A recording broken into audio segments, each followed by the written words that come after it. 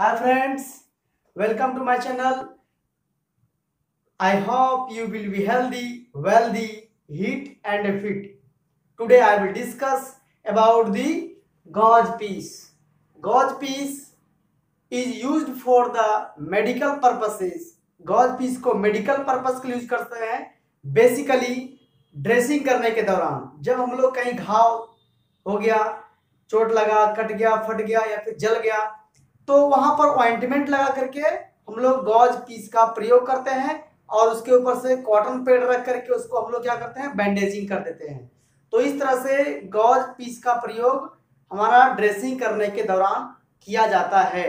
तो हम लोग जानेंगे इसके साइजेस क्या होते हैं और कैसे बनाएँगे और इसका बनाने का क्या क्या टेक्निक है। तो समझिए, इसके size approximately five centimetre into five centimetre होती है। ठीक है? और या फिर seven point five into seven point five centimetre का होंगे। Otherwise ten into ten centimetre का ये, इसका ये मेज़रमेंट होता है।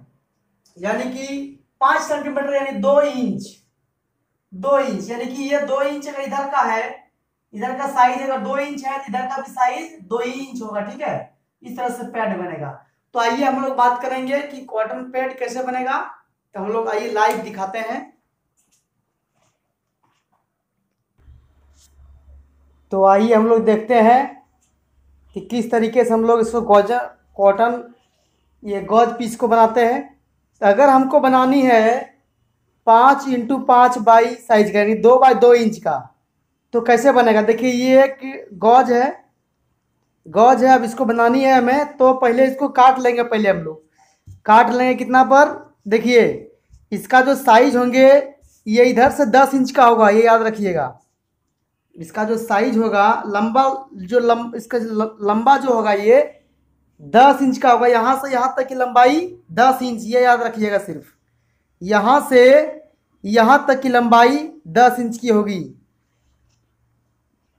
चलिए, और इधर से इधर की लंबाई जो होगी, वो छः इंच की होगी। छः इंच की लंबाई और दस इंच की लंबाई। अब इसको समझते हैं कैसे बनाएँगे। देखिए, बिल्कुल आसान है। इसको यहाँ से पहले मोड़ना है, ठीक है? दो इंच इधर से मुड़ जाएगी, दो इंच और दो इंच इधर से मुड़ जाएगा दोनों। दोनों मुड़ गया। अब एक बार इसको इधर से मोड़ देंगे, दो इंच।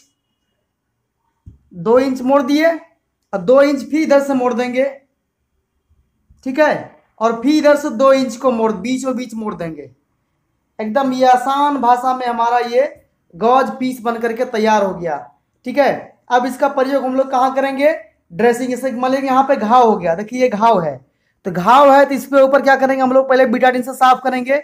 साफ़ करने के बाद में इसके ऊपर हम लोग गौज पीस को लगा देते हैं और ऊपर से हम लोग क्या करते हैं? बैंडेजिंग कर देते हैं। बैंडेजिंग कर देंगे, इससे क्या होगा? पूरा मेरा घाव सेफ़ रहेगा, चोट नहीं लगेगा, ब्लीडिंग नहीं होगा और मेरा घाव धीरे धीरे धीरे सूखते रहेगा। फिर दो से तीन दिन के बाद में गौज पीस को हम लोग बदल देते हैं। ये हुआ गौज पीस की कहानी। तो सम, आशा करता हूँ दोस्त की समझ में आ गया होगा। अब देखिए अगर हमको बनानी है कॉटन स्वाब तो कॉटन स्वाब कैसे बनाएँगे इसको भी आसान भाषा समझते हैं। पहले ऐसे इतना ले लेंगे उसको बीच से क्या करेंगे ऐसे जमा करते जाएँगे बीच से। चारों तरफ़ से जमा करते जाएँगे जमा करते जाएँगे और बीच में लेकर के इसको इधर से इसको बीचों बीच लेकर के और इसे गोल कर लेंगे ठीक है? अब ये क्या हो गया? स्वाब बन गया रसगुल्ला वाला स्वाब।